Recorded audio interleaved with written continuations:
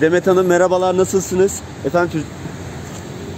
Nereye efendim? Nereden geliyorsunuz? Tenisten, tenis dersi mi neresi? Yemeğe gidiyoruz. Yemeğe gidiyorsunuz. Peki. Teşekkürler. Görüşürüz. Sağ olun.